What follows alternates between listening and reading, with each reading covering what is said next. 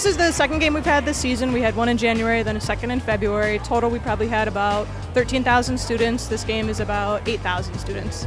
The Get Schooled by Skates game is different from other Chicago Wolves games because all elements of the game relate back to the students and the schools attending the games. Over the last three years, we've had about 25,000 students come and participate, um, ranging from grades first through high school.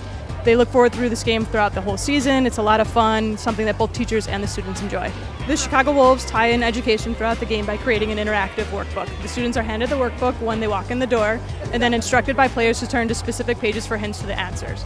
We've taken different elements like math, science, language art, and geography and relay them back to hockey, so it's a fun and engaging way to get them interested in subjects that they learn every day.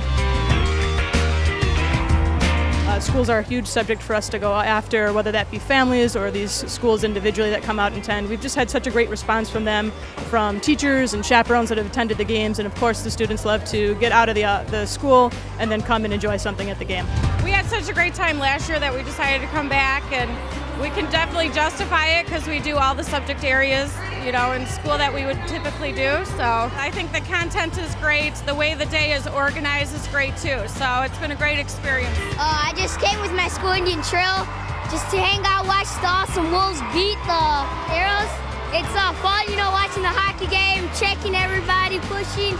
It's fun. Schroeder a chance, has the goalie down, shoots, he scores! Jordan Schroeder, who has five game-winning goals, makes it 2-1 Chicago.